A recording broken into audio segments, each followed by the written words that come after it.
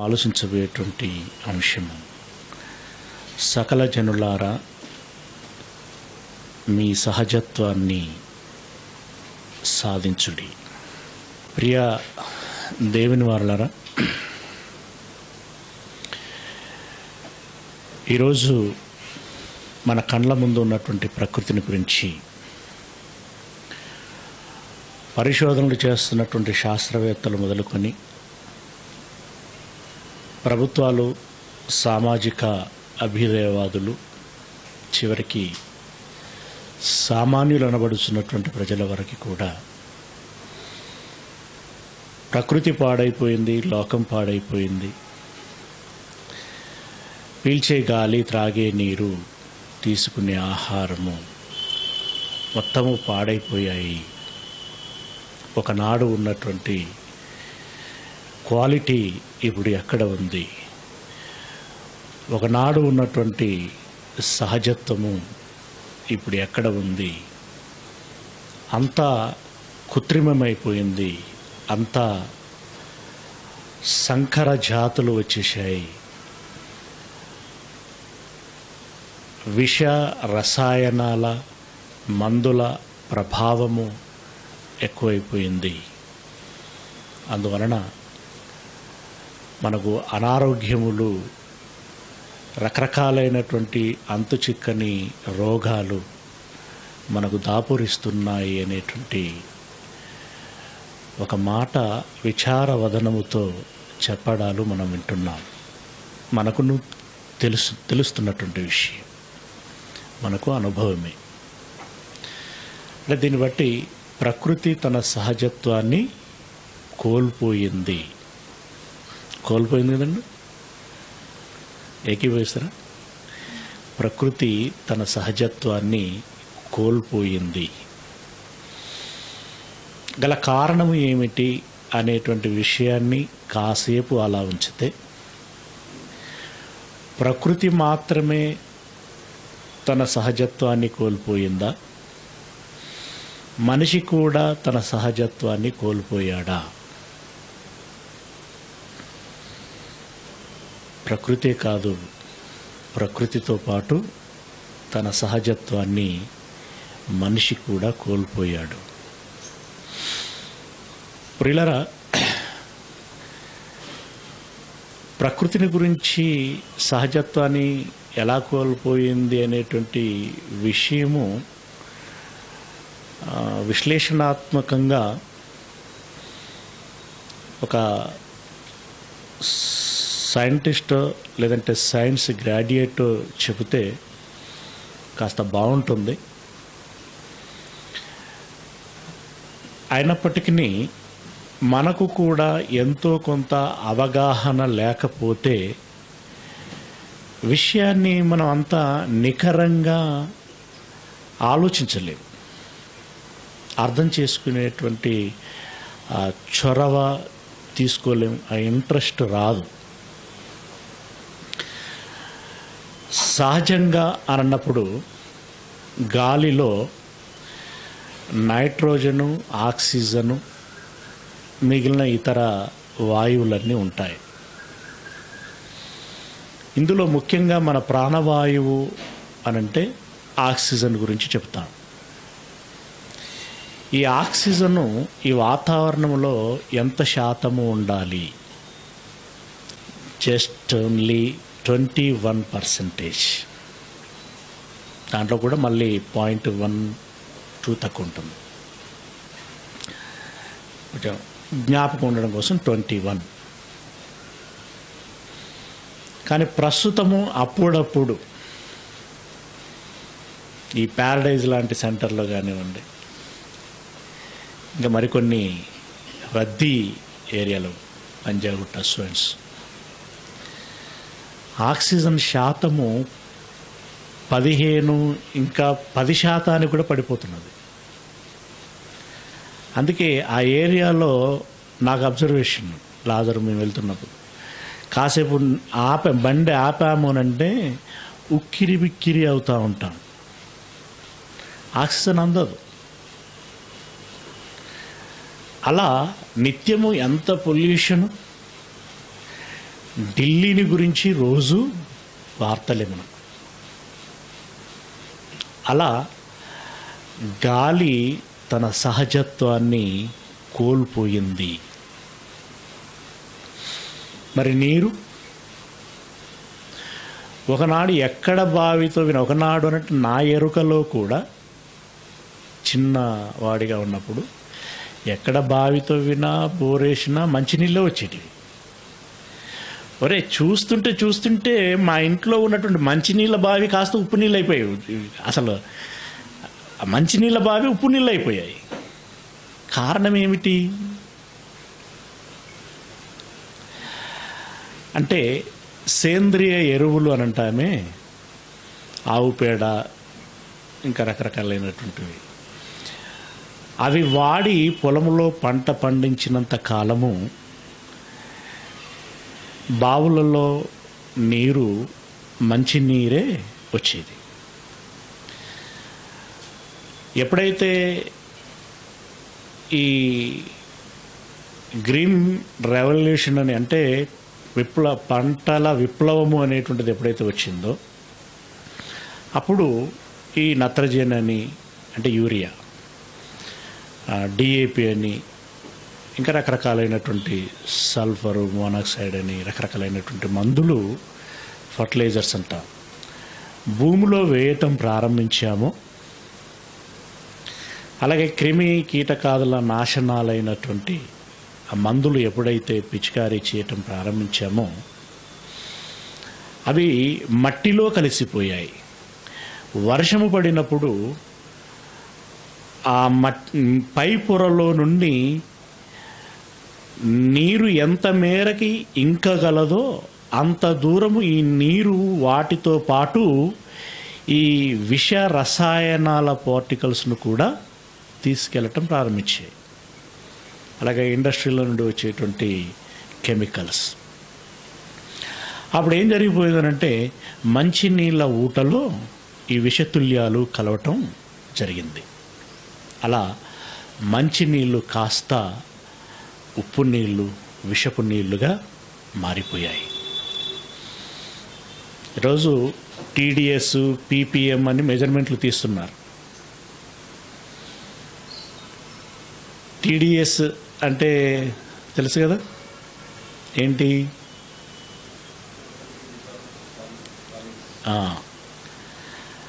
అంటే అందులో ఉండేటువంటి రకరకాలైనటువంటి ఇందాక చెప్పుకున్నటువంటి కెమికల్స్ ఏవైతే ఉంటాయో మిగిలిన సహజంగానే ఉండేటువంటి భూమిలో ఉండేటువంటి సల్ఫర్ కావచ్చు కాల్షియం కావచ్చు సోయన్సో ఇవన్నీ ఏవైతే ఉంటాయో ఏ మోతాదులో ఉండాలి?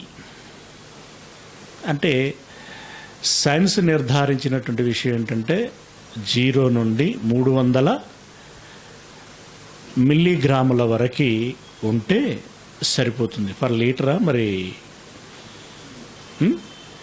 ఏదో చెప్పింది లెక్క. అక్కడ వరకు ఉంటే పర్వాలేదు. కానీ ఈరోజు చూస్తే బాలానగర్లో నువ్వు ఏ బోరులో నుండి నీళ్ళు తీసినా ఎర్రగా వస్తాయి. మరి కొన్ని ప్రాంతాలలో నల్లగా వస్తాయి. బాటిళ్ళల్లో బట్టి చూపెడతా ఉంటారు. మరికొన్ని ప్రాంతాలలో పచ్చగా వస్తాయి. అంటే సంబంధిత రసాయనాల ప్రభావంతో ఆ రంగులు చోటు చేసుకుంటూ ఉంటాయి. కదా? కొన్ని కొన్ని ఏరియాలలో ఆ నీళ్ళు తా గొంతులు పోయగానే చూడడానికి తెల్లనే ఉంటాయి. పోయగానే ఒక మంట. వెంటనే గొంతు మాటలో కానీ ఇంకా వివిధ పరిస్థితులు చేంజెస్ చోటు చేసుకుంటూ ఉంటాయి వెంటనే మాట స్వరం మారటం కూడా మారుతూ ఉంటుంది. ఆ రకంగా నీరు కలుషితమైపోయింది. అంటే తన సహజత్వాన్ని కోల్పోయింది. ఆ రోజుల్లో చెరువుల్లో కూడా నీళ్ళు తాగేవారు. సెలమల్లో నీళ్ళు తాగేటువంటి వాళ్ళు. కానీ ఈరోజు బాటిల్ నీళ్ళు కొనుక్కొని త్రాగితేనే కానీ త్రాగలేనటువంటి పరిస్థితి. చివరికి బాటిల్ నీళ్ళను కూడా నమ్మలేనటువంటి పరిస్థితి. అందులో మళ్ళీ కెమికల్స్ ఎక్కువైపోతున్నాయి. రైట్ అంటే నీరు తన సహజత్వాన్ని కోల్పోయింది. ఇక చివరికి ఆహారం. ఏ ఆహారం సహజత్వాన్ని కోల్పోకుండా బాగుంది అని చెప్పగలం? ఇలాంటి కార్పొరేట్ పట్టణాలలో సహజ సిద్ధమైనటువంటి ఆహారము తినటము అని కోరుకోవాలి అంటే అది భ్రమే. సహజమైనటువంటి ఆహారం మనకెక్కడ దొరకటము లేదు. ఇవన్నీ ఎలా పొల్యూట్ అయిపోయాయి ఇందాకటి వాటి కారణాలను బట్టే అవి కూడా పొల్యూట్ అయిపోయాయి. చివరికి అధికోత్పత్తుల కోసం సంకరాలను చేసి ఈ ట్రాన్స్ప్లాంటేషన్ సిస్టములో సాధారణంగా మన డిఎన్ఏలో మిక్స్ కానటువంటి కలవలేనటువంటి మరో డిఎన్ఏను మిక్స్ చేస్తే మిక్స్ చేస్తే ఏ రకమైనటువంటి విపరీతాలు కనబడతాయో ఈ కూరగాయలు తదితరమైనటువంటి వాటిలో కూడా ఈ సంకరము చేయటం మూలంగా విపరీతాలు జరుగుతున్నాయి. కారాలను చూడండి. మిర్చి కారాలను చూడండి. కారం కారంగా ఉండదు అది. అది తింటుంటే ఏదో ఇప్పుడు కారం మంట ఒక పూర్వపు కారం అంటే మంట ఎలా ఉండేదో దానికి అనుభవం మీకు తెలిసి ఉంటుంది. కానీ ఇప్పుడు కారపు మంట చూడండి. అది ఏం లేదు. ఈ చర్మాన్ని చెక్కు తీసి దాని మీద ఏదో కెమికల్ పోస్తే మంట మంటతో చూడండి. అది మంటే. అంటే కారము తన సహజత్వాన్ని కోల్పోయింది. ఇక పండ్లు ఫలాలు అని చెప్పేసి పెద్ద పెద్ద సైజులో వస్తాయి. ఆ, పండు కలర్ ఎలా ఉండాలో అది కలర్ఫుల్గా వస్తుంది. దాన్ని చూసి మనం పెద్ద పండు మంచి రంగు వచ్చేసింది అంటే మంచి క్వాలిటీ అని మనం అనుకుంటుంటాం. కాదది విపరీతము. అది విపరీతం. దాన్ని భుజించిన మనకు విపరీతపు లక్షణాలే వస్తున్నాయి. ఇలా ఆహారము కూడా కలుషితమైపోయింది. పాయింట్ ఆఫ్ వ్యూలో మాట్లాడుకోవాలంటే ఇక చాలా ఉన్నాయి సంగతులు. అంటే గాలి కలుషి కలుషితమైపోయింది నీరు కలుషితమైపోయింది ఆహారము కలుషితమైపోయింది. ఇక ఈ వర్షాలు చల్లదనము ఎండ అనంటే ఇవి తెలిసిన విషయమే. ఎప్పుడో ఓజోన్ పొర హోల్ పడిందంటే దాన్ని పూడ్చడానికి ఇంకా వనరుల నుండి కావటం లేదు. దాంతో అతి నీళ్ళలోహిత కిరణాలు వచ్చేసి రకరకాలైనటువంటి చర్మ వ్యాధులు ఇంకా మనకు తెలియని రోగాలెన్నో మన వెంట పడుతున్నాయి.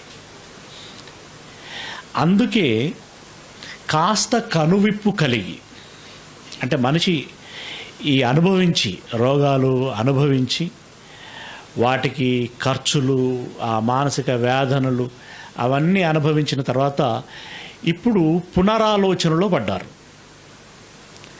ఏంటి పునరాలోచన అంటే మనము ఈ మందులు వేసి పండిస్తున్నాము గనుకనే ఈ రకమైనటువంటి రోగాలు వస్తున్నాయి. కనుక సాంప్రదాయ పంటలను పండిద్దాము. సేంద్రియ ఎరువులనే వాడుదాము. ది ఇలాగైతే సహజ లక్షణాలతో పంటలు పండుతాయి అని మరలా పూర్వపుట ఆలోచన చేయటానికి ప్రయత్నం చేస్తున్నారు. ఎంతవరకు సాధ్యపడుతున్నది అనేటువంటి తర్వాత విషయం. ప్రయత్నం అయితే చేస్తున్నారు. ఇలా సేంద్రియ ఎరువులతో పండించినటువంటి పంటలు అని చెప్పేసి దుకాణాలు కూడా అక్కడక్కడ ప్రత్యేకంగా వెలుస్తున్నాయి. అవగాహన ఉన్నటువంటి వారు అక్కడికి వెళ్ళి కొంటున్నారు. మీరు ఎంత దూరం వచ్చి ఇక్కడే ఎందుకు కొనుక్కొని పోతున్నారంటే చెబుతున్నారు. అయ్యా అవి తిని తిని ఇగో ఈరోజు ఈ బీపీలు ఈ షుగర్లు ఈ రోగాలు నాకు లేని రోగం అంటూ లేదు. కనీసం ఆయుష్ను ఆరోగ్యాన్ని నాళ్ళపాటు కొన్నాళ్ళపాటు కాపాడుకుందాం అనేటువంటి స్పృహతో ఇంత దూరం వస్తున్నాము అని చెప్తున్నారు. అంటే ఎట్టకేలకి మరలా ఈ ప్రకృతిలో సహజత్వాన్ని నింపాలి. అందుకే చెట్లు నాటే కార్యక్రమాలు చేస్తున్నారు. ఈ సేంద్రియ ఎరువులతో పండించేటువంటి కార్యక్రమాలు చేస్తున్నారు. ఇంకా అదేంటి దాన్ని ఏమంటారు? అన్ని రకాలైన పక్షులు అన్ని రకాలైనటువంటి వృక్ష జాతులు అంటే ప్రకృతి అంతా సమ జీవ వైవిధ్యము అని చెప్పి ప్రపంచ స్థాయిలోనే దానికి ఒక ప్రణాళిక వేస్తున్నారు చేస్తున్నారు. సంతోషం. సంతోషం. కానీ ఈ సహజత్వము అనేటువంటిది ప్రకృతికి మాత్రమే పరిమితమైపోతే పోతే సరిపోతుందా? అసలు ఆ మాటకొస్తే సహజత్వంలో ఉన్నటువంటి ప్రకృతి అసహజ స్థితి స్థితిలోనికి రావటానికి గల కారకుడు మనిషే. సాధారణంగా ఆలోచించినా మనకు అదే అర్థమవుతుంది. ఈరోజు ఈ హైబ్రిడ్ అనే ఆలోచన వచ్చింది ఆవిడకి ఈ మందులు చల్లి ఎక్కువ పంటలు తీయాలనేటువంటి ఆలోచన వచ్చింది ఆవిడకి ఈ పురుగులు ఎక్కువైపోతున్నాయి వాటిని చంపాలనే ఆలోచన వచ్చింది ఆవిడకి అంటే మనిషికి.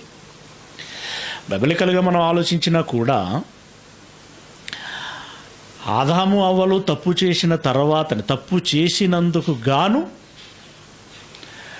భూమి ఆరోగ్యకరమైన లేదా మనకు అవసరమైనటువంటి మొక్కలను మొలిపించుటకు బదులుగా అవసరము లేనటువంటి అనవసరమైనటువంటి ముళ్ళ తీగలను గచ్చ పొదలను మొలిపించును అని చెప్పాడు. అంటే ఆ- ఆ రకంగా అది మార్పు చోటు చేసుకున్నది. అలాగే కయ్యను ఎప్పుడైతే హంతకుడుగా మారిపోయాడో నీవు దున్నినా సేద్యం చేసినా నీ నేల చవుడు నేలగా మారుతుంది. అది నీకు సరి అయినటువంటి పంటలు ఇవ్వదు. ఇవన్నీ మీకు తెలిసినాయి కదండి రెఫరెన్స్లు ఇవన్నీ మీకు తెలిసినాయి. అంటే సహజత్వంగా ఉన్నటువంటి సహజత్వంగా ఉన్నటువంటి ఆ నేల కాస్త అసహజ స్థితిలోనికి వెళ్ళిపోయింది. ఒకవేళ మీకు కావాలనుకునేటువంటి వారు రెఫరెన్స్ రాసుకోవచ్చు. అది ఆదికాండం మూడో అధ్యాయము పద్దెనిమిదో వచనంలో ఒక మాట నాలుగో అధ్యాయము పన్నెండో వచనంలో మరొక మాట. ఓకే? వాటిని మీరు తర్వాత చదువుకోలేదు. సహజ స్థితిలో నుండి అసహజ స్థితిలోనికి ఎలా వెళ్ళాయి? అలాగే ప్రకృతి తన క్రమమును తప్పటానికి గల కారణము ఏమిటి? ఎవరు అని చెప్పాడు? ఇది చదవండి. ఇర్మియా గ్రంథము ఐదవ అధ్యాయము ఇరవై ఐదవ వచనము. ఇర్మియా గ్రంథము ఐదవ అధ్యాయము ఇరవై ఐదవ వచనము. దోషములు మీ దోషములు మీ దోషములోనంటే మీ పాపాలు మీ తప్పిదాలు. వాటి క్రమమును తప్పించేను మీకు మేలు క- మేలు కలగకుంటకు మీకు మేలు కలగకుండుటకు మీ పాపములే కారణము. గొర్రెను వస్తే పాపము అనేటోళ్ళు ఉన్నారు. చెట్టును నరికితే?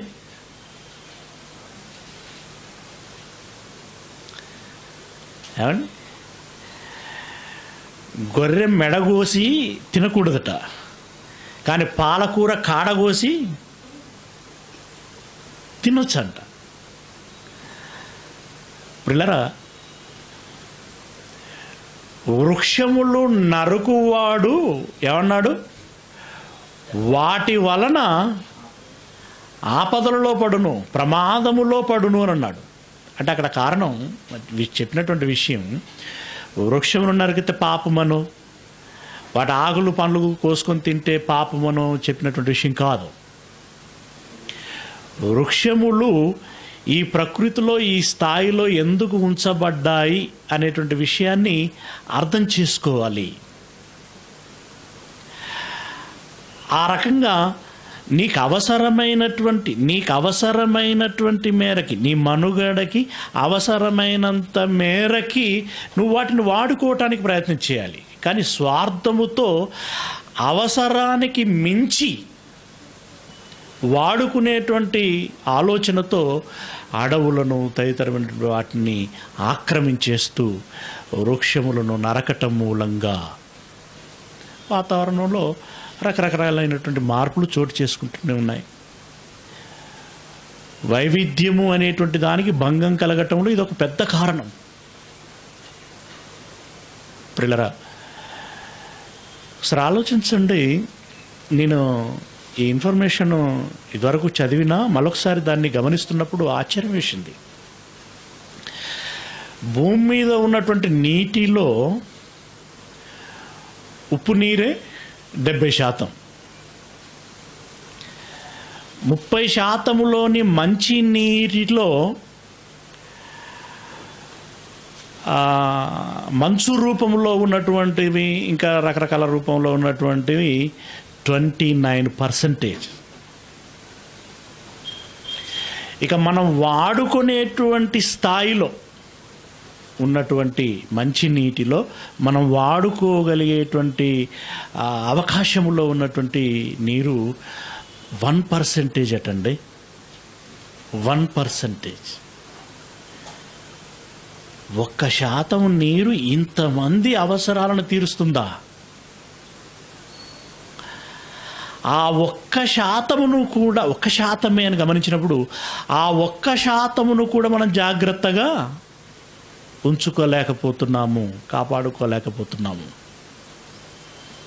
ప్రిల్లరా ఈ రకంగా గాలి మొదలుకొని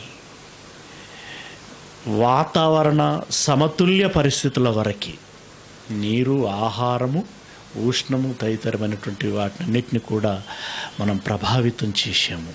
అవి ప్రభావితం అవ్వటానికి గల కారణాలు మనము అనాలోచనతో చేసినటువంటి తప్పుడు పనులు.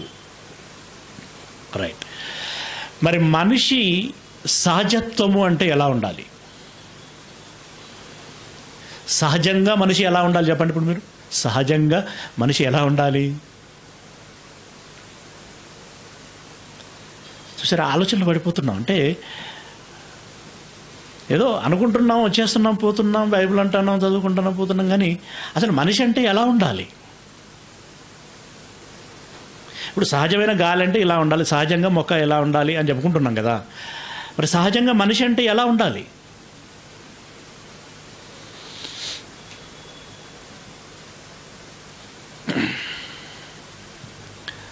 పిల్లరా ఆలోచించగలగాలి.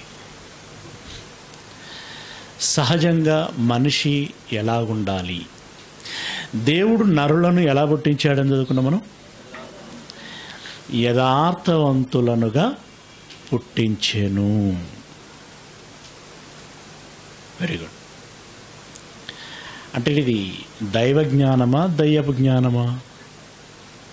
యథార్థులనుగా పుట్టించటములో ఎవరి ఇంటర్ఫిరెన్స్ ఉన్నదడా? దేవుడిది.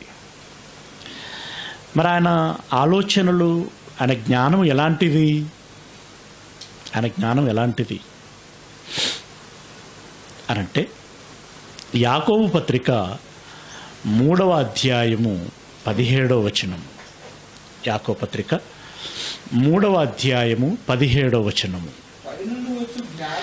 పైనుండి వచ్చు జ్ఞానము మొట్టమొదట ఎట్ ది బిగిన్ అంటున్నాడు. ఫస్ట్ అన్నిటికంటే బెస్ట్ అండ్ ఫస్ట్. మొట్టమొదట పవిత్రమైనది. పవిత్రమైనది ఈ పవిత్రత అనేటువంటి దాన్ని మనం బాగా ఆలోచించాలండి అర్థం చేసుకోవాలి. పవిత్రత.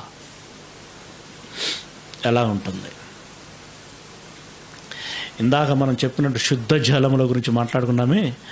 అందులో నిజంగా శుద్ధ జలము అని అనుకున్నటువంటి నీటి చుక్క నీటి బిందువు ఒక పింగాని పాత్రలో అలా ఒక డ్రాప్గా పడితే దాన్ని నువ్వు చూస్తూ గమనిస్తూ ఉండు. ప్యూరిటీ అంటే ఏంటి అనేటువంటిది కాస్త అనుభవపూర్వకమైనటువంటి థ్రిల్లింగ్ మనకు కనబడుతూ ఉంటుంది కలుగుతూ ఉంటుంది. ఎంత పారదర్శకంగా ఉన్నది ఈ నీటి బిందువు. ఇప్పుడు అది అలాంటి నీరు మన లోపలికి వెళితే హాని చేస్తుంది మనకి చేయదు. మేలు చేస్తుంది. మేలు చేస్తుంది. అంటే పవిత్రతకి ఉన్నటువంటి గుణం అది. అలా పవిత్రమైన గాలి కావచ్చు పవిత్రమైన ఆహారం కావచ్చు పవిత్రమైన వాతావరణం ఏదైనా కావచ్చు. అది మనకు మేలు చేస్తుంది. పొరపాటున కూడా కీడు చెయ్యదు దేవుడు తన జ్ఞానముతో ఈ లోకమును కలగజేసాను దేవుడు తన ఆలోచనతోటే మనకు జన్మనిచ్చాడు. యథార్థంగా పుట్టించాలి అని అనుకున్నాడు పుట్టించాడు. యథార్థంగా పుట్టించాలనుకున్నటువంటి దేవుని యొక్క జ్ఞానములో మొదటిది పవిత్రమైనది. తర్వాత?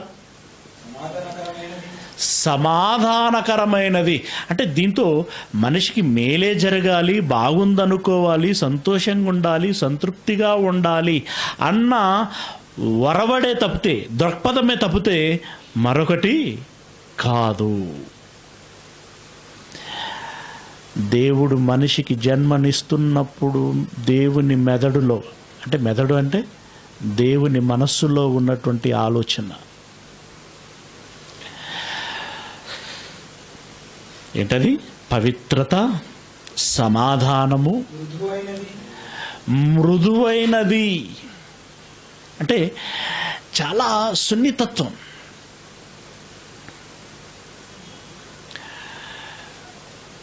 నెల బాలుడికి స్నానం చేయించాలి అని అంటే ఆ తల్లి ఎవరైనా ఎలా చేయించాలి అప్పుడు? ఎట్లా పడితే అట్లా మగ్గుతూ పోతా అంటే కుదరదు. ఎలా పడితే అలా రాస్తా అంటే కూడా ఆ తొమ్ము అన్నట్టుగా తొమ్మితే కుదరదు. అక్కడ ఒక జాగ్రత్తలు ఉంటాయి. దేవుడు కూడా అంత సున్నితత్వంతో మృదువు. ఆ తర్వాత? సులభముగా లోబడినది. అంటే మన మేలు కోసము ఆయన రాజీ పడిన సందర్భాలు కూడా ఉన్నాయి. మనం లోబడటం మీన్స్ రాజీ పడటం. కూడా ఉన్నవి. ఎప్పుడెప్పుడు ఎలా అని అంటే చాలా ఉన్నాయి. రాజీ పడ్డాడు ఆయన. రాజీ పడ్డాడు. తాను కలగజేసినటువంటి ప్రకృతి అంతటి మీద మనకు అధికారము ఇచ్చాడు. ఇస్తే పరిణామాలేంటి? ఇగో ఇది సాధించాం. ఇది సాధించాం ఈరోజు. తానిచ్చిన దాని దాని పాడు చేసి గుళ్ళబొడిసి ఇలా తయారు చేసి ఆయన ముందు ఉంచాం అయినా మనకు ఇచ్చాడు ఆనాడు. అయినా మనకు ఇచ్చాడు ఆనాడు. Right um. సులభముగా లోబడునది. కనికరముతోనూ మంచి ఫలములతోనూ నిండుకొనినది. పిల్లరా అలాంటి స్వచ్ఛమైన సహజమైన గుణములతో గుణముతో గుణముతో దేవుడు మనకు జన్మనిచ్చాడు. మనం జన్మించినప్పుడు ఈ క్యారెక్టర్లన్నీ ప్రోవి చేసుకొని జన్మించాం. అంటే దేవుడు వాటినన్నిటిని మనకి ఇమిడ్చి జన్మనిచ్చాడు. అందుకే చిన్నపిల్లలు ఎలాంటి వారండి? చిన్నపిల్లలు ఎలాంటి వారు? కళ్ళ కపటము ఎరగనటువంటి వారు. పొరపాటుననైనా ఎదుటి వారికి హాని చేయాలనేటువంటి తప్పుడు ఆలోచన రానటువంటి వారు. వారు నవ్వుతూ ఉంటారు నవ్విస్తూ ఉంటారు. పిల్లరా వారిలో సున్నితత్వం ఉంటుంది మృదుత్వము ఉంటుంది. ఇలా అంటే బెదిరిపోయి లోబడుతూ ఉంటారు. పిల్లరా ఆ రకంగా మనం ఆలోచిస్తే ఇక్కడ చెప్పబడినటువంటి క్యారెక్టర్లన్నీ చిన్నపిల్లల్లో ఉంటాయి. చిన్నపిల్లల్లో ఉంటాయి. కానీ కాస్త పెద్ద అయ్యేసరికి పెద్ద పెరగడానికి మనం ఏం చేస్తాం? వేస్తాం ఇక యూరియాలు వేస్తాం మన పొటాషియం వేస్తాం. మెగ్నీషియం వేస్తాం. వేసేసరికి ఆ మనిషి తన సహజత్వాన్ని అంటే వివిధములైన తంత్రములు అంటే అవే మందులు. మనకు నేరుగా వేసే సమయం లేకపోతే ఇంకొకరికి అప్పచెప్పిపోతాం బాగా వేయి అని. రైట్ ఇంకా మనకు ఓపిక లేకుండా పోతున్నది మన పనికి డిస్టర్బెన్స్ అవుతున్నది అని అంటే ఓ సెల్ ఫోన్ చేతికి ఇచ్చేస్తాం. ఆడుకో అని. వాడు ఆడుకుంటాడు ఆ ఆ గంట గడిసిపోతుంది అని నువ్వు అనుకుంటావు. కానీ వాడిలోనికి ఎక్కకూడని విష రసాయనాలు ఎక్కుతున్నాయి. అర్థం చేసుకోవాలి మనం. ఒక టీవీ ఒక సెల్ ఫోన్ తదితరమైనటువంటి వాటి ద్వారా ఆ మాధ్యమాల ద్వారా మనిషికి ఎక్కకూడనటువంటివి. అంటే భూమిలో ఏ విష రస విష రసాయనాలైతే కలవకూడదో కలవకూడదు అనుకుంటూనే కలుపుతున్నామో మన బిడ్డడు పాడవ్వకూడదని అనుకుంటూనే ఇలాంటి వాటితో పాడు చేస్తున్నాము. ఇలాంటి వాటితో పాడు చేస్తున్నాం. నా కూతుర్లు కూడా ఆలోచించవలసినటువంటి విషయం. అని అనుకోవటం కాదు. ఒక తండ్రిగా ఒక పాస్టర్గా నేను చెబుతున్నాను. మీ మంచి కోరి. పదే పదే వెంటబడితే మీకేమనిపిస్తూ ఉంటుందంటే మా నాన్న మా డాడీ కాసేపు ఒక ఐదు నిమిషాలు రిలాక్స్ అవ్వటం కూడా దట్ ఓర్చుకోడే అని అనిపిస్తూ ఉంటుంది మీకు. మీరు రిలాక్స్ అనుకుంటా ఉంటారు. రిలాక్స్ మాటున ఈ విష బీజాలు మీలోనికి వస్తాయి. మీ ఆలోచన దృక్పథాన్ని మారుస్తాయి. మంచివారు అని అనిపించుకోవటానికి బదులుగా చివరికి చెడ్డవారు అనేటువంటి ఒక భయంకరమైనటువంటి ముద్ర వేసుకుంటారు. అందరూ గమనించాలి. అందరి పిల్లల విషయంలో ఈ దృష్టి మనము పెట్టుకోవాలి. పిల్లరా అలా యథార్థవంతులుగా ఆ పైనుండి దేవుడిచ్చినటువంటి జ్ఞానముతో పుట్టినటువంటి మనము ఇదిగో ఈ రకంగా తంత్రములు అనేటువంటి విషబీజాలు కలిసి ఏమైపోయాం? పొల్యూట్ అయిపోయాము అంటే అసహజ స్థితి వచ్చేసింది. అసహజ స్థితి వచ్చేసింది. మరి ఎలా? ఈ అసహజ స్థితిలో నుండి బయటపడటం ఎలా? ప్రకృతిని మరలా సహజ స్థితిలోనికి తీసుకురావాల తీసుకురావటానికి ఆరాటపడుతుంటాం బాగుంది. మంచిదే. మరి మనిషి సహజ స్థితిలోనికి రావటం అవసరం లేదా? ఆ మాటకొస్తే నేను అంటాను ప్రకృతి సహజత్వాన్ని కోల్పోతే మనకు వచ్చే నష్టం ఏంటండి ఆరోగ్యం పాడవుతుంది. అంతే కదా? ఆరోగ్యం పాడవుతుంది. కానీ మనలోనికి వచ్చిన అసహజ అసహజ స్థితి అది పాపం కదా? పాపం. ఈ పాపము మనలో ఉంటే?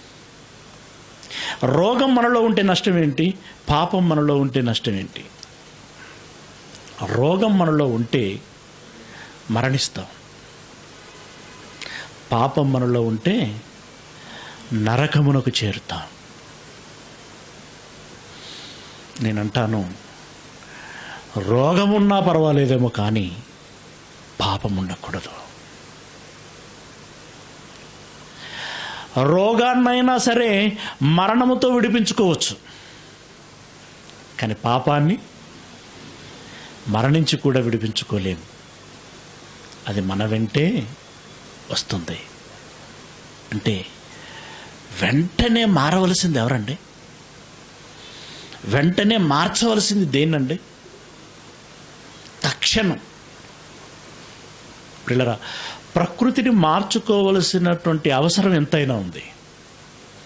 కానీ మనిషిని మార్చుకోవలసినటువంటి విషయం అత్యవసరమై ఉన్నది. అది అవసరం. ఇది అత్యవసరం. అత్యవసరం. ఇంకా మాటకు వస్తే మనిషి మారితే ప్రకృతి ఆటోమేటిక్గా మారిపోతుంది. మనిషి మారితే ప్రకృతి ఆటోమేటిక్గా మారుతుంది. ప్రకృతి మారితే మనిషి మారడు. మారతాడా? మారడు. మనిషి మారాలి.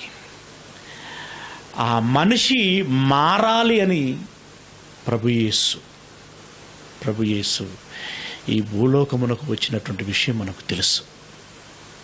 ప్రిలరా ఆయన మన మాదిరిగానే శరీరము ధరించుకున్న ఆయన మాత్రం సహజత్వాన్ని కోల్పోలేదు. ఇట్ ఇస్ గ్రేట్ ఆయన తన సహజత్వాన్ని కోల్పోలేదు. మనమే ఎందుకు కోల్పోయాము?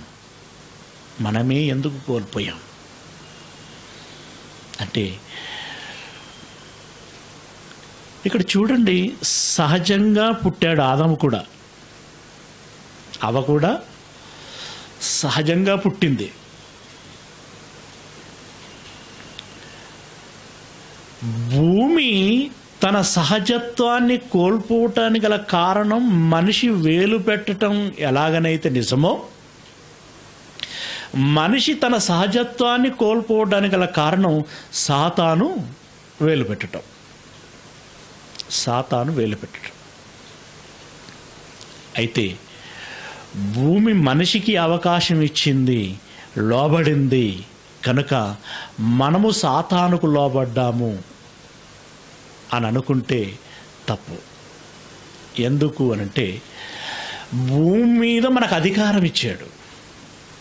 కానీ మన మీద సాతానుకు అధికారము ఇవ్వలేదు. భూమిని మనకు లోబడమన్నాడు. మనల్ని సాతానుకు లోబడమనలేదు. ఇది గమనించుకోవాలి. ఇది గమనించుకోవాలి. లోబడు అనకపోయినా మనం లోబడుతాము. మనం లోబడుతాము అరే మందుకు బానిస కావద్దురా అని అంటే నువ్వెంత చెప్పినా అప్పుడు పదహారు పనులు ముప్పై రెండు పనులు బయటపడేటట్టుగా నవ్వుతాడు పోతాడే కానీ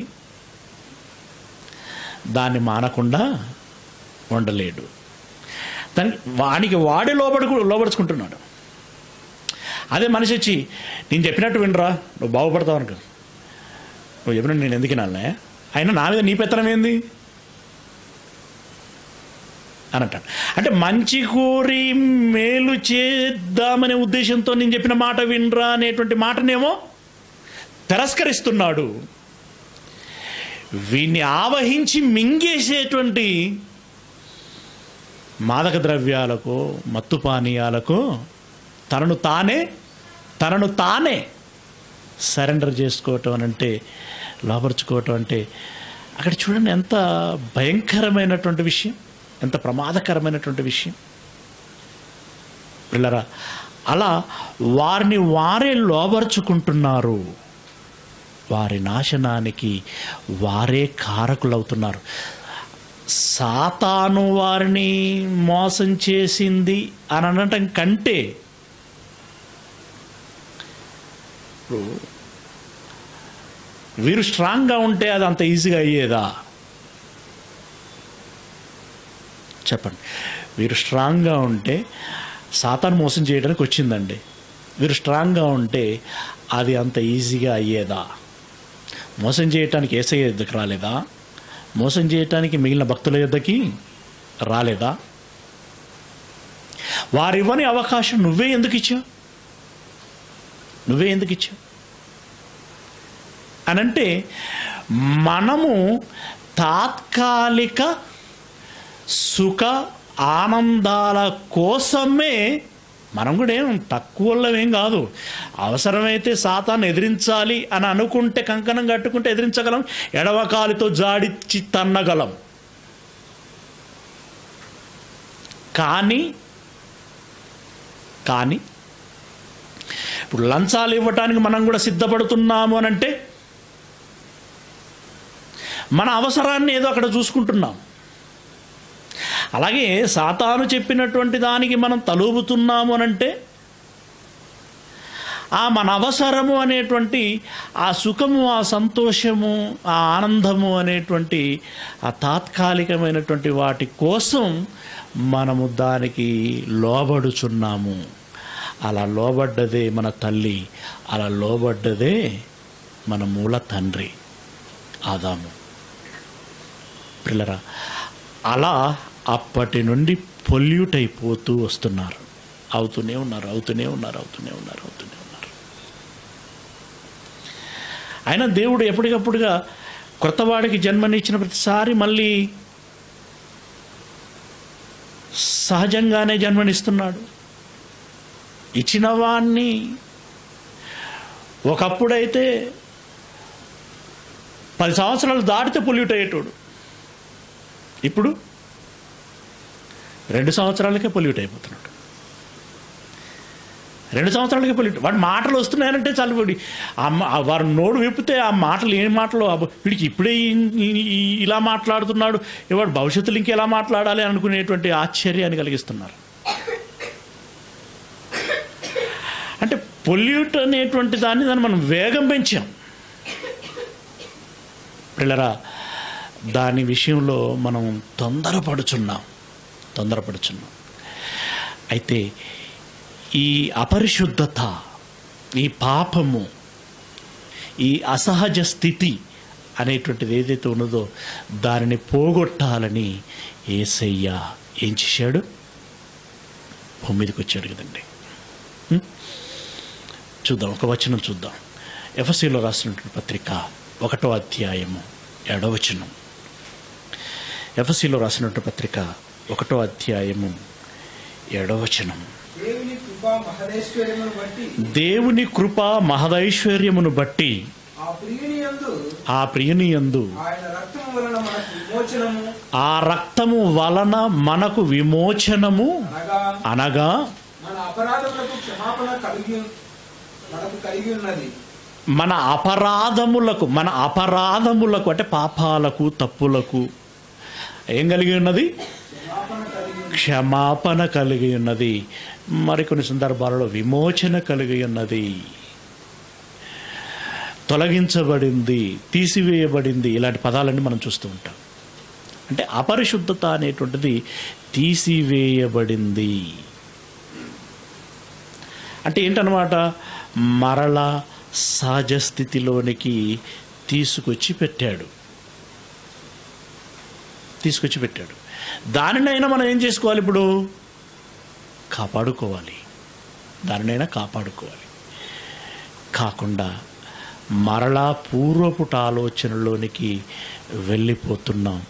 మరలా మరలా పాడు చేసుకోవటానికి ప్రయత్నం చేస్తున్నాం. అది మరలా పాడైంది అని అంటే ఇక దాన్ని బాగు చేయలేం.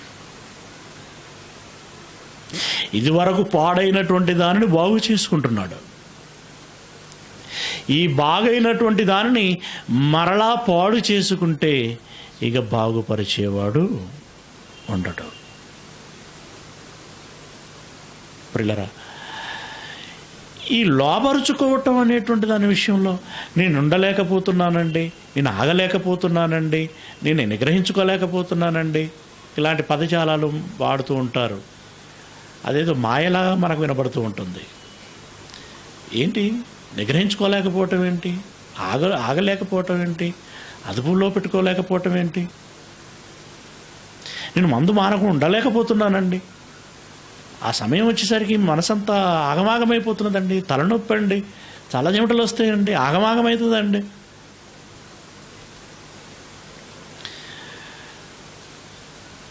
మన సహవాసి వరంగల్ మలక్పల్లి వాస్తవ్యుడు మధుకర్ వాళ్ళ డాడీ గుట్కాలు తంబాకు తదితరమైనటువంటివన్నీ తినేటువంటి వాడు ఎన్ని రోజుల నుండి తింటున్నాడో తింటున్నాడు. మీరు విజిట్ చేయాలి వీలున్నటువంటి వాళ్ళందరూ. నేడు బసవతారకం హాస్పిటల్లో ఉన్నాడు. ఆ నాలుకకి క్యాన్సర్ వచ్చేసింది. తిని తిని తిని తిని నాలుకకి క్యాన్సర్ వచ్చేసింది. కుటుంబ సభ్యులు చెప్పారు తినొద్దు అని.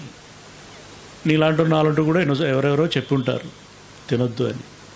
కానీ మానలేదు. తిన్నాడు. చివరికి దానికి క్యాన్సర్ వచ్చేసింది. మన పోయి చూశాను నేను ఎంత భయంకరంగా ఉన్నదంటే ఆ నాలుక దృశ్యం. అంత భయంకరంగా ఉంది. ఇప్పుడు డాక్టర్లు ఏమన్నారు అంటే నాలుకని తీసేయాలి. తీసేయకపోతే ఏమవుతుంది? అది గొంతులోనికి వెళ్తుంది కడుపులోనికి వెళ్తుంది అంతా మింగేస్తుంది. నాలుకని కట్ చేయాలి. అంటే ప్రమాదం చూడండి ఎంత దూరం వచ్చేసిందో. ఇంకా వదిలిపెడితే ప్రాణం అయిపోతుంది అయితే నేను అతని దగ్గరికి వెళ్ళినప్పుడు ఆ దృశ్యం చూసిన తర్వాత కాసేపు మాట్లాడి కొంచెం కూల్ అయిన తర్వాత మరి ఇప్పుడు పొగాకు తింటున్నారా? మానేశారా అండి? అని అడిగాను. ఇంకానా నేను రోజులు అవుతుంది మానేసి అని అన్నాడు. మరి ఇప్పుడు మీకు ఏం అనిపించట్లేదా మానేసినందుకు? అని అన్నాను. ఏమనిపిస్తుంది? అలవాటు అయిపోయింది అని అన్నాడు. నెల రోజులు అవుతుంది కదా మానేసి ఇప్పుడు ఏం అనిపిస్తలేదు అని అన్నాడు. ఈ పనికి అప్పుడే ఏదో చేసింటే బాగుండేది కదా. ఇప్పుడు ఈయన ఈ సమస్య వచ్చింది కాబట్టి తప్పనిసరి అయి మానేస్తే మాన మానటానికి కూడా అలవాటు పడింది బాడీ బాగానే ఉన్నాడు. అంటే రోగం వస్తే మానేయగలడు కానీ ఆరోగ్యంగా ఉంటే మానేయలేడా వెంటనే వాళ్ళ కుమారుడు అన్నాడు మానేయలేకపోతున్నామనేటువంటి మాట ఒక సాకన్నా. మానేయాలనుకుంటే అది పెద్ద విషయమేమీ కాదు. ఈ మాటలని దొంగ మాటలు మానేయలేకపోతున్నాం అనేటువంటి మాట కనీస ప్రయత్నం చేయకుండా చెప్పేటువంటి మాటలు అవి పిల్లరా యేసు ప్రభుల వారు ఆ విధంగా తన ప్రాణమును పెట్టి మనల్ని పరిశుద్ధపరుచుకుంటున్నాడు. పరిశుద్ధులమైపోయిన తర్వాత మరలా అసహజ స్థితిలోనికి వెళ్ళకూడదు. లేదంటే మనల్ని ప్రమాదములో పడేసేటువంటి వాటికి బానిసలము కాకూడదు లోబడకూడదు. సాతాను ఈరోజు దుష్టిని రూపంలో లోకములో ఉంది. దుష్టుడు భ్రష్టుడు రకరకాలైన పేర్లు. దానికి ఎన్ని పేర్లు అండి రకరకాల పేర్లు. అలాంటి దుష్టత్వము లేదా భ్రష్టత్వము లోకములో ఉంది. మరి ఇప్పుడు దానికి మనం ఎలా ఉండాలి? ఎలా ఉండాలి? దుష్ట సాంగత్యము. కొరందిలో రాసిన మొదటి పత్రిక పదిహేనో అధ్యాయం ముప్పది మూడో వచనము. మొదటి పత్రిక పదిహేనో అధ్యాయము ముప్పది మూడో వచనము. మోసపోకుడి. సాంగత్యము. దుష్ట సాంగత్యము మంచి నడవడిని చెరుపును. మంచి నడవడిని చెరుపును.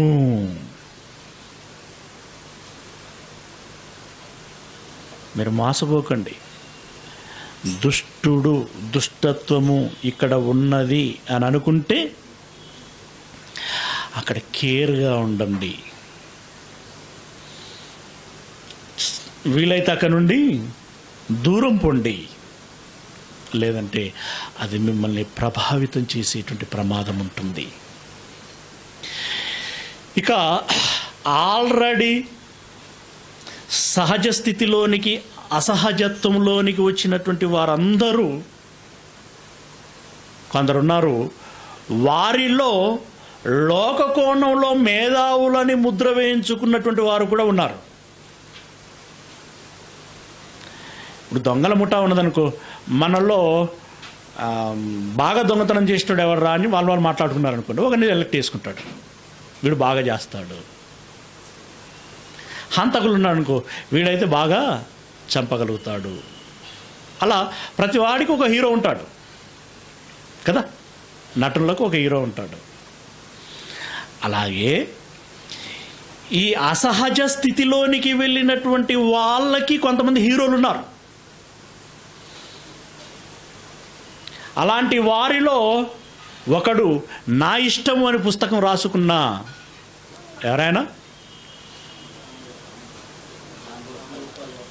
రామ్ గోపాల్ వర్మ ఈరోజు ఎంత నీచ స్థితిలోనికి వెళ్ళాడో మనకు తెలియందేమీ కాదు. కానీ ఆయన మాటలు వినండి. ఆయన సాహిత్యం చదవండి. ఒక్కసారిగా అరే ఈయనకి ఎంత నాలెడ్జ్ ఉంది అని అనిపిస్తూ ఉంటుంది.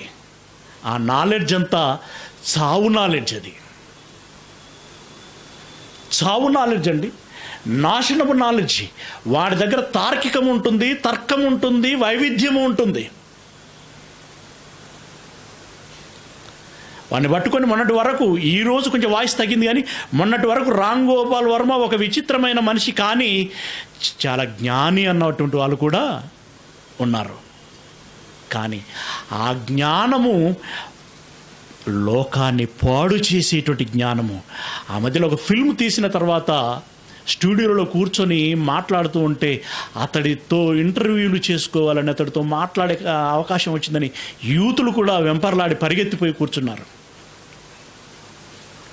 ఆ డిస్కషన్లో ఆ వ్యామోహంలో ఒక జ్ఞానే ఇంత అదిగా చేసి మాట్లాడుతున్నాడు అని అంటే మనం ఆ రేంజ్లో మాట్లాడకపోతే మనం అజ్ఞానంగా కనబడతామేమో అని చెప్పేసి ఆయనతో మా ఆయనతో ఆ పోటీ పడడానికి ప్రయత్నం చేశారండి. ఆ విషయాల గురించి మాట్లాడడానికి ఆ విషయాల గురించి మాట్లాడడానికి. అంటే ఇప్పుడు ఇతడు యువతని పాడు చేశాడా బాగు చేశాడా? రామ్ గోపాల్ వర్మ యువతని బాగు చేయటానికి పలాని పని చేశాడని చెప్పడానికి ఒకటి చెప్పండి. కానీ ఆయనతో నేను మాట్లాడతానండి ముఖాముఖి కూర్చొని ఎంతవరకైనా సరే ఆయన మా నేను చేసిన తప్పు అని నేను నిరూపిస్తానండి అని చెప్పేసి నేను మాట్లాడుతానని వెళ్ళటానికి ధైర్యం చేసేవాళ్ళు మీరు ఒకరు చెప్పండి. అప్పుడు వాడితోట? అంటే ఎందుకు ఆ మాట? వాడి లాజికల్గా మాట్లాడతాడు. అందులో తర్కం ఉంటుంది. అందులో తర్కం ఉంటుంది. అలాగే అదొక యాంగిల్ అయితే బాబు గోగినేనిది మరొక యాంగిల్ అదొక తర్కం. అమ్మ గోగినేని తోట. అలాగే గోగినేని టైప్ ఒక ఒక ఆయన ఉన్నాడు ఆయన పేరు రాఘవేంద్రన ఏదో ఉంది.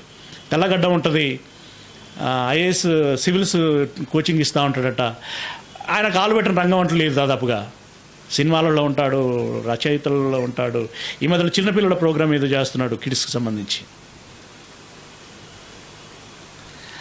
అలాగే ఈ మత ఛాందసవాదులు వాళ్ళదో తార్కికం మత బోధకులు.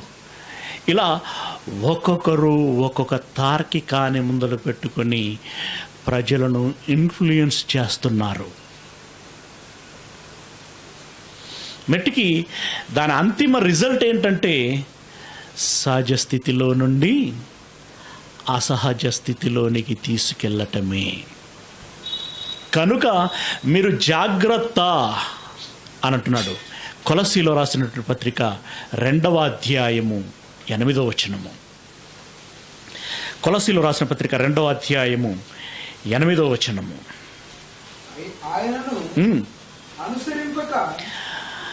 ఆయనను. అనుసరింపక మనుషుల పారంపర్యాచారమును అనగా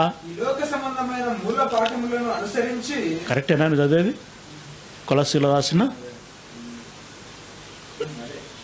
రెండవ అధ్యాయము. పద్దెనిమిదవ వచ్చిన అట్లా చూడు ఒకసారి. పద్దెనిమిదవ వచ్చిందా అతి వినయాసక్తుడై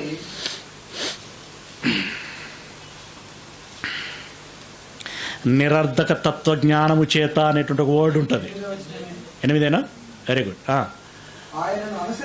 ఆయనను అనుసరింపక మనుషుల పారంపర్యాచారమును అనగా ఈ లోక సంబంధమైన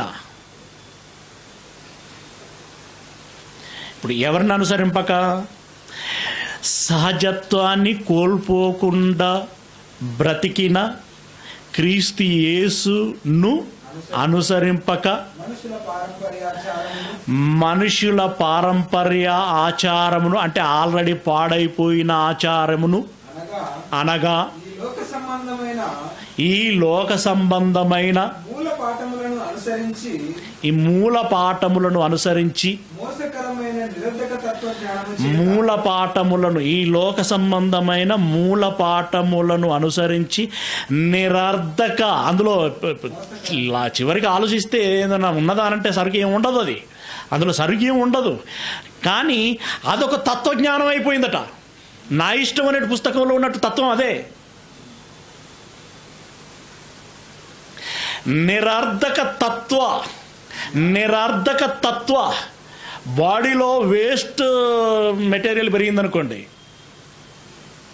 ఏమంటారు దాన్ని? అంటే ఇప్పుడు అనవసర కొలెస్ట్రాలే కానివ్వండి ఇంకా రకరకాలైనటువంటి ఇప్పుడు క్యాన్సర్ గడ్డలు పుండ్లు అని అంటాం కదా. అదంతా అనవసరమైనటువంటిది కదా. అనవసరమైందే ఆ రకంగా ఎదుగుతుంది నిరర్ధక అంటే అనవసరమైన పనికి మాలిన పనికి మాలిన చేటు చేసే ప్రమాదంలో ముంచే నిరర్ధక దాని కూడా ఒక పేరు పెట్టబడింది తత్వజ్ఞానము అని. మత పిచ్చోడు నోరు తెరిస్తే ఇదో తత్వము ఇది తత్వబోధ అని చేస్తూ ఉంటాడు. నేను ఫిలాసఫర్ని అని అంటాడు. నేను ప్రొఫెసర్ని అని అంటాడు. ఇందులో నాది ఇన్ని సంవత్సరాల అనుభవము అని అంటాడు. లోకాన్ని నేను ఇంత చదివాను అని అంటాడు. నేను ఇంత ఎరిగాను అని అంటాడు. ఎవరు తెలిసినా వేదాంతమే మాట్లాడుతూ ఉంటారు? అయితే ఆ వేదాంతము అక్కెరకొచ్చే వేదాంతము కాదు. నిరర్ధక తత్వ జ్ఞానము చేత మిమ్ములను చెరపట్టుకొని ఓ వాడు వాడెవడైనా ఉండునేమో అని ఆ మిమ్మల్ని చెరపట్టుకొని పోవాడెవడైనా ఉండునేమో అని జాగ్రత్తగా ఉండుడి. ఎప్పుడైనా ఇలాంటి వాళ్ళని ఇందాక పాయింట్అవుట్ చేసిన సోకాల్డ్ పర్సన్స్ ఎవరైతే ఉన్నారో ఫాలో అవుతే బాగుండేమో అని అనిపించిందా మీకు? అనిపించిందా? అనిపిస్తే అయిపోయాము అన్నమాట. అనిపిస్తే అయిపోయాము అని దాని అర్థం. పిల్లరా మన సహజ స్థితి మారు మనసు పొందావా? బ్యాప్టిజం తీసుకున్నావా? పాపక్షమాపణ పొందావా? పరిశుద్ధాత్మ పొందుకున్నావా? రక్షణ మార్గంలో నడుస్తున్నావా? ఎస్ ఇది ఉండవలసిన జీవితం. దీన్ని ఇలాగే ఉంచుకో కాపాడుకో నిలబడ్డావు పడిపోకు. ఇది సహజ స్థితి దీనికి మిక్కిలి మరొకటి నువ్వేమి చేసినా మరలా అసహజ స్థితిలోనికి వెళ్ళిపోతున్నావు అందని అర్థం అసహజ స్థితిలోనికి వెళ్ళిపోతున్నావు. నిరర్ధక తత్వ జ్ఞానము చేత మిమ్మల్ని మోసం చేయువాడెవడైనా ఉన్నాడేమో అని జాగ్రత్తగా చూసుకునుడి. చూసుకోండి. నేను చెప్పిన వాళ్ళే కాదు. నేను చెప్పనోళ్ళు నాకు తెలవని వాళ్ళు మీకు తెలిసిన వాళ్ళు ఇక చాలా మంది ఉంటారు. వాళ్ళందరితో జాగ్రత్త పడండి. అయితే వీళ్ళందరికీ బిగ్ బాస్. ఇప్పుడు రెండు నెలల ప్రోగ్రాము మూడు నెలల ప్రోగ్రానికి ఒక బిగ్ బాస్ ఉన్నాడే టీవీలో వస్తున్నది. అలాగే వీళ్ళం ఈ టీవీలో వచ్చే బిగ్ బాస్లో వాళ్ళందరూ ఏం చేయాలి ఎలా చేయాలి? బిగ్ బాస్ ఆదేశించినట్లుగా చేయాలి. లేదంటే బయటకు పంపించడం ఇంకేదో సంథింగ్ సంథింగ్ ఉంటాయి. కదా? ప్రియులరా వీళ్ళందరికీ బిగ్ బాస్ ఒకడు ఉన్నాడు వాడు ఈ భూమి మీదకి వచ్చేటప్పుడే ఓ కంకణం కట్టుకొని వచ్చాడు. పసుపు దారం మామిడాకు అనుకోకండి. కంకణం అంటే. ఒక బలమైనటువంటి దృక్పథంతో వచ్చాడు. ప్రకటన గ్రంథం పన్నెండో అధ్యాయము తొమ్మిదో వచనం ప్రకటన గ్రంథం పన్నెండో అధ్యాయము తొమ్మిదో వచనము. కాగా?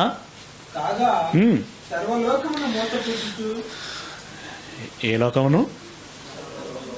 సర్వలోకమును మోసపుచ్చుచు అపవాదనియు సాతాననియు.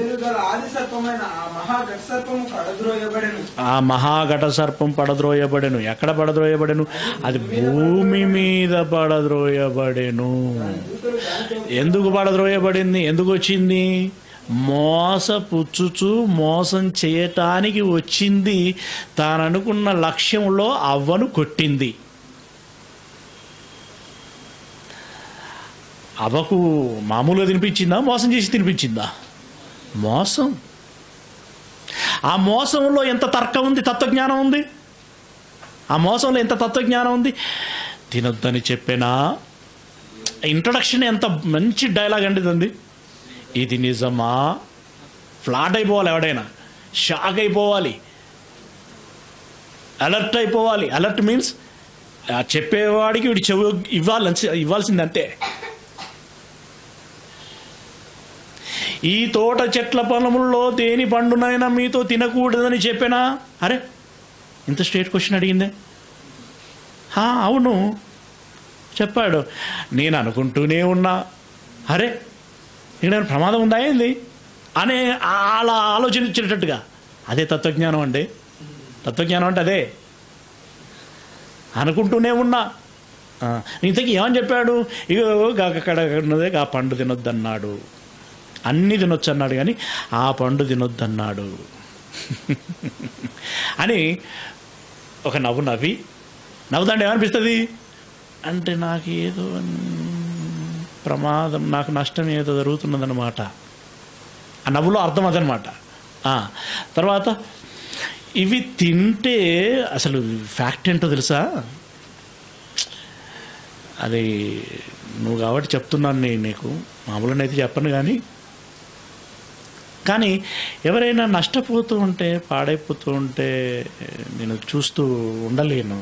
నాకు ఆగదు అది అందుకే నీతో చెప్తున్నాను అంటే అనేసరికి ఏమనిపిస్తుంది? అమ్మో నా మేలుగోరి వచ్చినటువంటి మహానీయుడు అని అనిపిస్తూ ఉంటుంది. ఇవి తింటే మీరు చా అసలు ఫ్యాక్ట్ అంటే తెలుసా? ఇవి తింటే మీరు చావనే చావరు. చావకపోగా. ఇవి తిన్న నాటి నుండి మీ మీ కండ్లు తెరవబడతాయి. ఏ కండ్లు? మొన్న మొన్నటి వారం మూడవ కన్ను గురించి మాట్లాడుకున్నాం. ఇప్పుడు ఇది అదనపు కన్ను. మనిషికి ఎన్ని కన్ను ఉన్నాయో చూడండి. ఇది అదనపు కన్ను. మీ కళ్ళు తెరవబడతాయి. మీ కళ్ళు తెరవబడతాయి. రకరకాల స్పెట్స్ వస్తున్నాయి ఈ మధ్యలో. ఒక్కొక్క దాన్ని పెట్టుకొని చూస్తే ఒక్కొక్క విధంగా కనబడుతూ ఉంటుంది. ఇప్పుడు ఇది- ఇది ఆర్టికల్స్ ఇచ్చింది. ఇవి పెట్టుకొని చూస్తే మీ కళ్ళు తెరవబడతాయి. మీ కళ్ళు తెరవబడతాయి.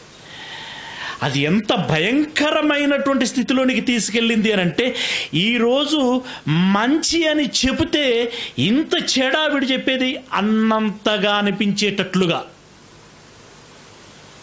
అదే చెడు చెబితే అబ్బా ఎంత బాగా చెప్పాడు అనిపించేంతగా.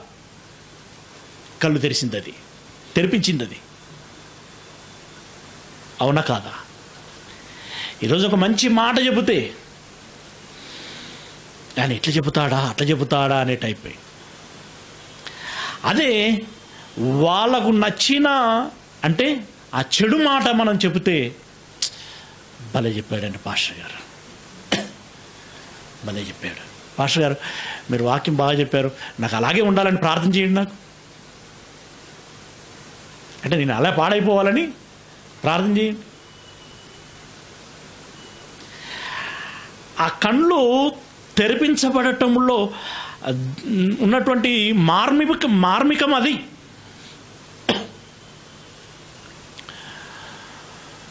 సాధారణంగా జంతువులు వస్త్రాలు వేసుకోవు. బట్ వాటికి ఈ రకమైన మనలాగా ఆ ఫీలింగ్స్ ఏమీ ఉండవు. చిన్నపిల్లలకి వస్త్రాలు ఉండవు. శిశువులకి. ఫీలింగ్స్ ఏమీ ఉండవు. మన దగ్గరికి వచ్చేసరికి ఫీలింగ్స్ ఎక్కడ నుండి వచ్చాయి సాతాను వాళ్ళ యుద్ధకు వచ్చేంతవరకు ఫీలింగ్స్ లేవు. అది వచ్చి తినకూడదని చెప్పిన పండు తినగానే ఎక్కడ నుండి వచ్చే ఫీలింగ్స్ ఆ ఫీలింగ్స్ ఇప్పుడు ఈరోజు వస్త్రం వేసుకోవడం మంచిదా వేసుకోకపోవడం మంచిదా అంటే వేసుకోవడం మంచిదే అని అంటాం. కానీ సహజమైన స్థితిలో ఉన్నప్పుడు వేసుకోకున్నా కూడా వాళ్ళకి నష్టమేమీ లేదు. సహజమైన స్థితిలో ఉన్నప్పుడు.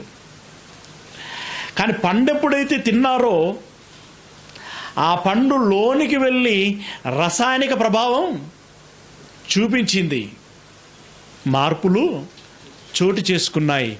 అప్పుడు రకరకాలైనటువంటి ఫీలింగ్స్ రకరకాలైనటువంటి ఆలోచనలు అప్పుడు వస్త్రము. కళ్ళు తెరవబడ్డాయి అని ఉంటుంది బైబిల్లో మూడో అధ్యాయం ఏడవ వచనంలో అది ఖండం వారి కళ్ళు తెరవబడ్డాయి. తెరవబడ్డాయి అంటే దాని అర్థం ఏంటో తెలుసా? సహజ స్థితిలో నుండి అసహజ స్థితిలోనికి వారు వెళ్ళిపోయారు అని దాని అర్థం. అసహజ స్థితిలోనికి వారు వెళ్ళిపోయారు.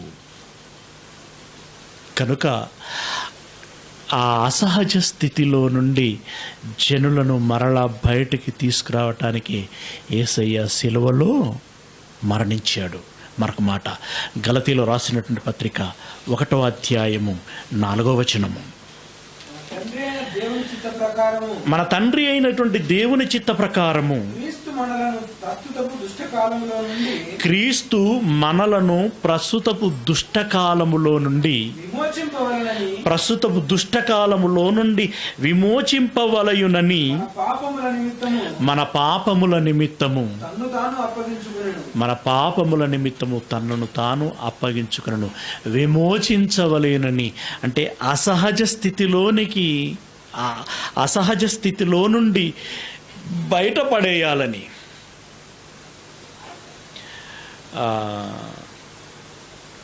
పద్మశ్రీనో పద్మభూషణ్ అవార్డు గ్రహీత రామయ్యన?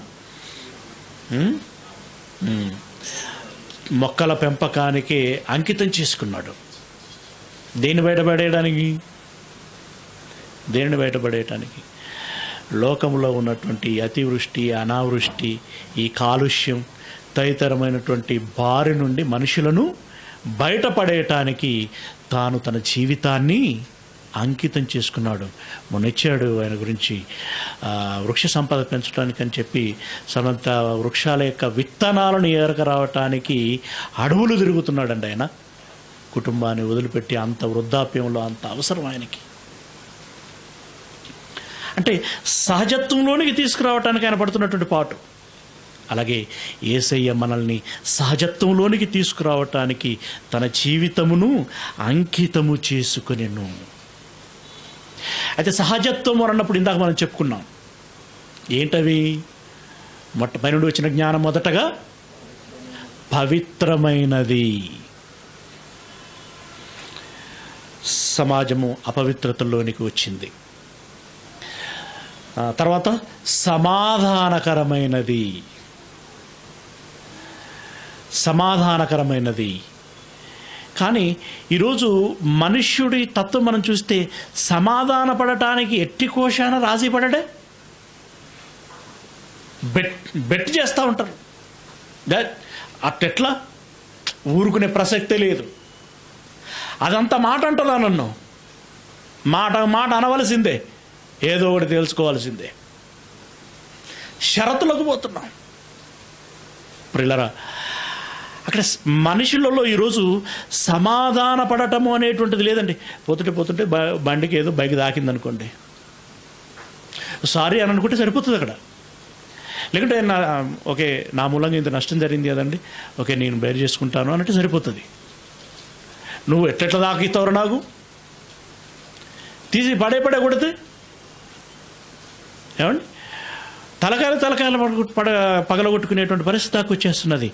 అంటే మనిషిలో ఓపిక అనేటువంటిది లేకుండా పోతున్నదండి. సమాధాన పడటం అని అంటే ఓకే సారీ బ్రదర్ తప్పైపోయింది. It's okay it's okay. అని అనుకుంటే అది- ఆ సమస్య అంతటితో అయిపోతుంది. ఇప్పుడు బైక్ డొక్కుపడ్డదని చెప్పేసి తలకాయల బొక్క పడుచుకుంటున్నారే?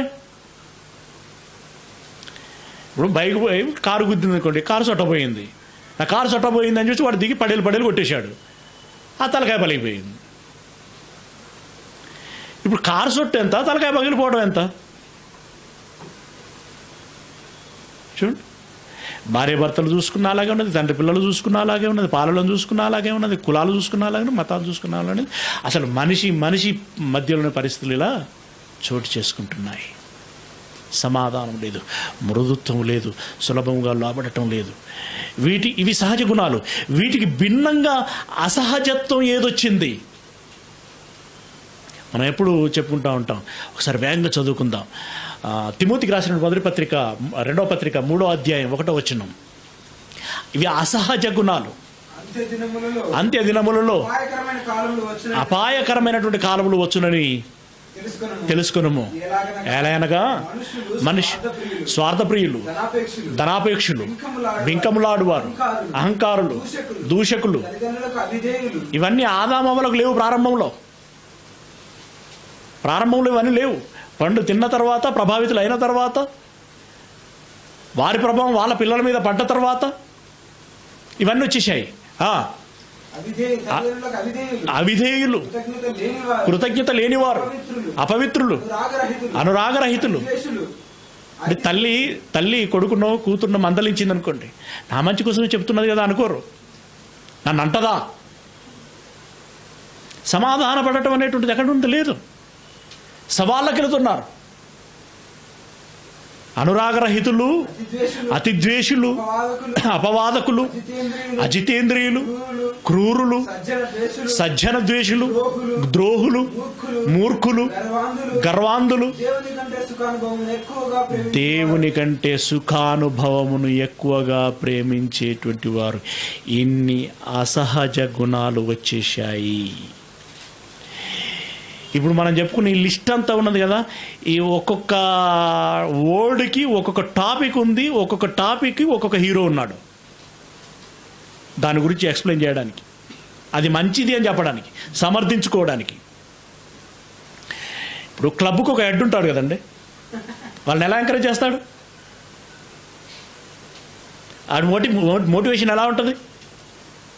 ఆడి మోటివేషన్ ఎలా ఉంటుంది అని అంటే వీడి పర్సులో ఉన్నటువంటి మనీ బోను కార్డుల బ్యాలెన్స్ కూడా అయిపోవాలి.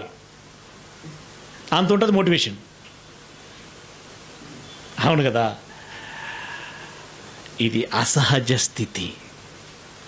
పిల్లరా మనం సహజ స్థితిలోనికి రావాలి. ఇప్పుడు మనం ఏమనుకుంటున్నాం? పరిశుద్ధులము అని అనుకుంటున్నాం. నిజంగా పరిశుద్ధులమైతే పరిశుద్ధునికి ఉండవలసినటువంటి గుణమేంటో గమనించి అందుకు తగినట్లుగా ఉండండి అని అంటున్నాడు. ఉందాము ఉండే ప్రయత్నం చేద్దాం. మూడవ అధ్యాయము కొలసిలో రాసిన పత్రిక. మూడవ అధ్యాయము పన్నెండవ వచనము. మూడవ అధ్యాయం పన్నెండవ వచనము. కొలసిలో రాసిన పత్రిక మూడో అధ్యాయము పన్నెండో వచనము కాగా దేవుని చేత ఏర్పరచబడిన వారును జగత్తు పునాది వేయబడక మునిపి క్రీస్తు యేసునందు ఏర్పరచబడినటువంటి వాళ్ళం మనం. దేవుని చేత ఏర్పరచబడినటువంటి వారును ఈరోజు బాప్తిజం తీసుకొని పరిశుద్ధులమైనటువంటి వాళ్ళ మనం. క్రీస్తు యేసు రక్తం చేత మన పాపమును కడిగేసుకొని పరిశుద్ధులమైనటువంటి మనం. పరిశుద్ధులను ప్రియులైన అయినటువంటి వారికి తగినట్లు ఏర్పరచబడిన వారు పరిశుద్ధులు దేవునికి ప్రియులు అని అనబడుతున్నటువంటి వారు ఎవరైతే ఉన్నారో వారికి తగినట్లుగా మీరు ఏముండాలి? ఇది సహజత్వం. జాలి. అయ్యో. అరే పాపం. ఒక అనారోగ్యంలో ఉన్నప్పుడు కానీ ఒక ఆర్థిక సమస్యలో ఉన్నప్పుడు కానీ ఒక కింద పడినప్పుడు మనం మన కళ్ళ ముందే కింద పడినప్పుడు కానీ ఇంకా రకరకాలు. అలాంటి సమయాలలో మనకి ఏముండాలి అంటున్నాడు? పరిశుద్ధునికి ఏముండాలి అంటున్నాడు? జాలి. తర్వాత? దయాలుత్వము.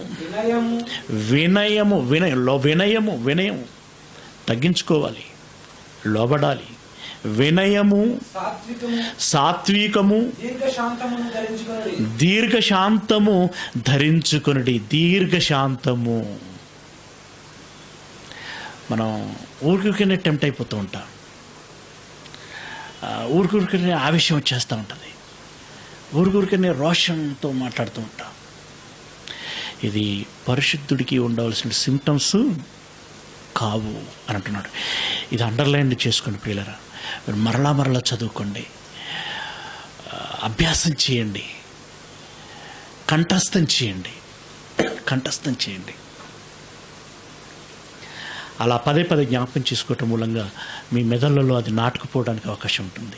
అది నాటుకుపోతే ఈ సిచ్యువేషన్స్ వచ్చినప్పుడు అవి మనల్ని జ్ఞాపకం చేయడానికి అవకాశం ఉంటుంది. అవి జ్ఞాపకం చేసినప్పుడు మనం కంట్రోల్ సెల్ఫ్ కంట్రోల్ చేసుకోవడానికి అవకాశము ఏర్పడుతుంది. అలా ఉండాలి మీరు అని అంటున్నాడు. అని పదమూడవ వచనంలో ఏమంటున్నాడు?